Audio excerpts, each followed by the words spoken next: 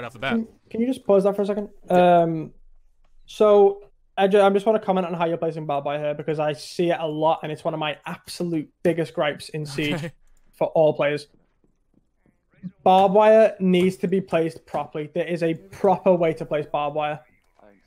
All right. So let's. Okay, so uh, just pause it here. I just want to talk about that. Cool. So if we place our barbed wire where you're standing right now, it allows the enemy to break it from cover. That goes against us in the value game.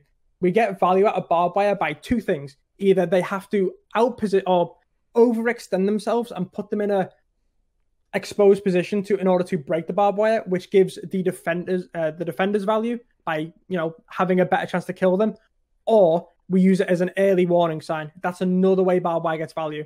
So, for example, if on these stairs right now, the barbed wire that is currently placed further up, it's not going to be massive because the early warning that it's going to give isn't. It's not justifiable because we're going to be at like sitting maximum white box all the way down the hallway. So this way. yeah, exactly. So they're just going to break the barbed wire for free. So it's not very mean, yeah. optimal. Whereas if we place the So barbed place wire, a little bit halfway.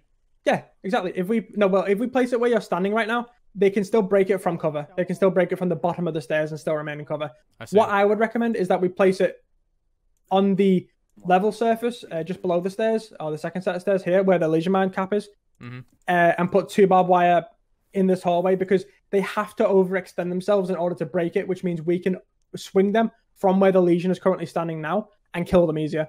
That's how we get value out of barbed wire. So you're baiting them basically into making Yeah. a, a play that they don't want to. Yeah. Gotcha. Um, barbed wire is a huge thing. It it doesn't stack, so one of the worst things I see is people putting barbed wire over each other. That that grinds my gears in a way I can't describe. It it, so it just it doesn't. so for so for the audience, uh, in summary, we want to put it a little bit further down the hallway so that way the enemy has to overextend to get rid of it, and then when Yeah, they exactly. overextend, we can capitalize on that intel from the sound Mhm. cue and then get a kill. Yeah, like I was also saying, the other way, the other sort of way you can justify placing barbed wire is for that early warning, but uh, this isn't the place to do it. Really, this isn't Gotcha. the optimal. There is another location on this uh, map where I would recommend uh, placing barbed wire a bit further down for early warning, where they can break it from uh, cover, uh, which is red stairs. Uh, you play most stairs in general. You want to place barbed wire further down because um, you need that early warning because if they can just push straight up, they're just going to kill you.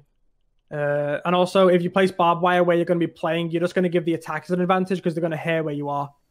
So we really want to think about where we're placing barbed wire before we actually go into the round.